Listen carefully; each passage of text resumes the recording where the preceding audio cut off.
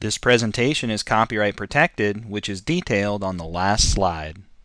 Welcome. This video is designed to show the theory of operation as well as the function of the hydraulic drop quill assembly. In addition, you'll be shown the location and adjustment procedure for the drop quill on your Fisher snowplow.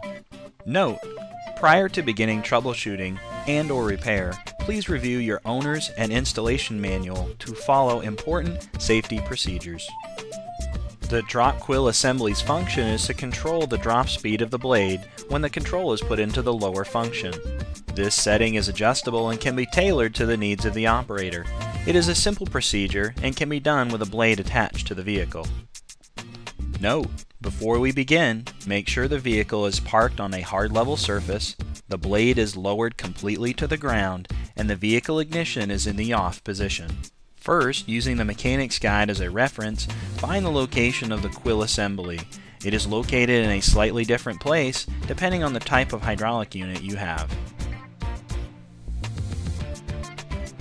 The quill assembly controls the drop speed of the plow by partially blocking off the lower circuit inside the hydraulic manifold.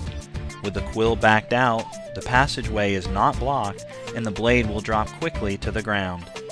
If a slower drop speed is required, turning the quill in will partially block off the lower circuit and slow the blade down to the desired speed.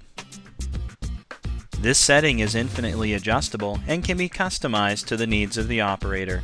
Check the adjustment of the quill by raising and lowering the blade to see if the drop speed is at the required setting. Once finished, you are ready for plowing.